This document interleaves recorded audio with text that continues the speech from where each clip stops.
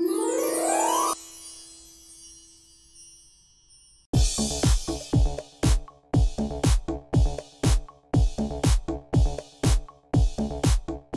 Rukh Khan's Jab Tak Hai Jaan to be released in Pakistan. Unlike some recent movies that were banned, King Khan's latest romantic film will be screened in the neighboring country. Many Bollywood movies end up not being shown in Pakistan due to sensitive subjects they deal with.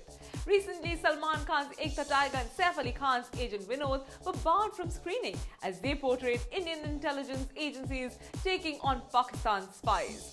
So when the theatrical trailer of Shah Rukh Khan, Anushka Sharma, Katrina Kaif, star of Jab Tak Hai Jaan was out, speculations were rife that this film too would not see the light of the day there. What fueled these talks was that in late Yash Chopra's last directorial venture, Shah Rukh is seen playing an Indian soldier briefly posted in Kashmir.